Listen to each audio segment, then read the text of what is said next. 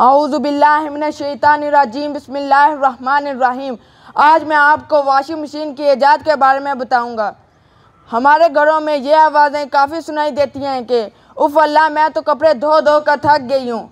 ये कपड़े तो मेरी जान लेकर ही दम लेंगे। ये और इस जैसी कई जुमले हम रोज़ाना सुनते हैं। मगर जिन घरों में धुलाई की मशीन, जिसे वाशिंग मशीन कहा जाता है, मौजूद हो तो वहाँ इस मशीन ने काफ़ी सहूलत पैदा कर दी है। वॉशिंग मशीन ने हर दौर में अपनी हयात में तब्दीली और तरक्की पैदा की है। धोबी घाट और टब की कहानी का दूसरा रुख उस वक्त शुरू होता है, जब सत्रह सौ बासी ईस्वी में लंदन में एक साइंसदान हनरी स्ट्रीटर ने एक सिलेंडर नुमा पिंजरा तैयार किया, जो कि एक टब पर नस्ब था। इस पिंजरे के साथ एक हैंडल लगा हुआ था। जब इस हैंडल को घुमाया जाता था तो दो रूलर घूमते थे। और जब गीले कपड़े को इस रूलर के दरमियान रखा जाता था तो वो कपड़ा गंदे पानी को निचार देता था। इसके बाद सत्रह सौ इक्यानवे ईस्वी में फ्रोक्सन हार्डी ने यूँ बढ़ा, इस काम को यूँ बढ़ाया कि इस बार उसने गियर सिस्टम गियर सिस्टम वाली मशीन बनाई, जिसमें हैंडल जिस सिमत में घुमाया जाता, रूलर उसकी मुखालफ सिमत में घूमते।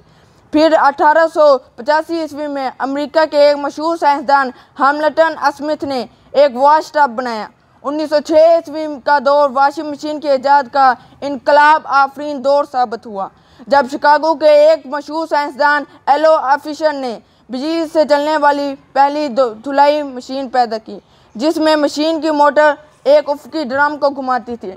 1924 ईस्वी को न्यूयॉर्क की एक कंपनी जिसका नाम सेवर्ज आर्म्स कॉरपोरेशन था। उसने इसके साथ खुश करने की सलाहियत भी पैदा की। इसके बाद 1945 ईस्वी में अमेरिका के सनतकारों ने अपनी सनत को फ़रोग देने के लिए इसमें इलेक्ट्रिक वाटर हीटर और पंप का इजाफा करके इसको खुदकार बना दिया। यह मशीन खुद ही कपड़े धोती, पानी हासिल करती और इसे सुखा देती। आज आपके कपड़े इतने साफ़ और उजले इसलिए नज़र आते हैं क्योंकि इसे आपकी बाजी नहीं, बल्कि वॉशिंग मशीन धोती है। Thank you